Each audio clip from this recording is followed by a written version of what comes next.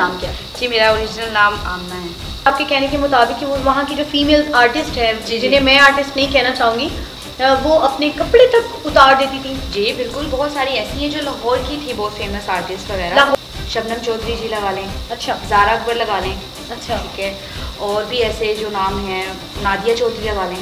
ये जो वलगैरिटी करती हैं ये जी। खवातीन ये जो आर्टिस्ट हैं ये किस लिए करती हैं? इनको पब्लिसिटी चाहिए इनको मतलब फेम चाहिए कि मैं जल्दी से एक सुपर डुपर स्टार बन जाऊँ इस वजह से करती हैं कि इनको मुआवजा ज़्यादा मिलता है। दोनों चीज़ें ही हैं दोनों। गुलफाम डायरेक्शन दे रही हैं मैंने ये सुना है कि जफी साहब भी डायरेक्शन दे देते हाँ इफ्तिखार ठाकुर साहब तो क्या आप उनको डायरेक्टर नहीं समझते? देखिए जब आर्टिस्ट से डायरेक्टर बनता है ना तो तब वो काफ़ी सारे ये ड्रामे आजकल क्यों ख़राब हो रहे हैं? इसी वजह से ख़राब हो रहे हैं कि आर्टिस्ट से डायरेक्टर डायरेक्टर से आर्टिस्ट आपकी स्टडीज़ कहाँ तक है?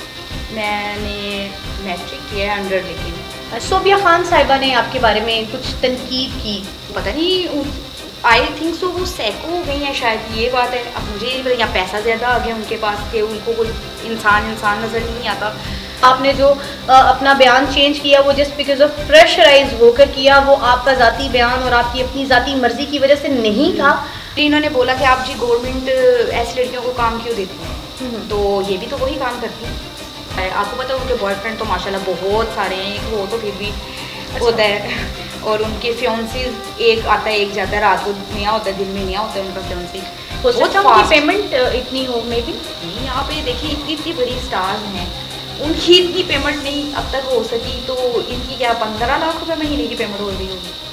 अच्छा आप ये कहना चाहती हैं कि नेगेटिव तरीके से उन्होंने ये सब कुछ अर्न किया है? इन अपना क्यों नहीं बताती है कि इनका भी तो तेरह चौदह साल का बेटा है बल्कि पता नहीं अब और कितनी होंगे मुझे ये भी नहीं पता ये तो हमें पता है ना। तो अभी तो वो कुछ भी नहीं है।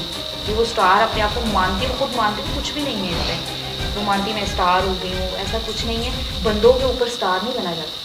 ये जो बंदों बंदों के सर पे स्टार नहीं बना जाता वो भी बंदे बिठाती हैं। उनके भी काफ़ी सारे फैंस हैं ऐसे।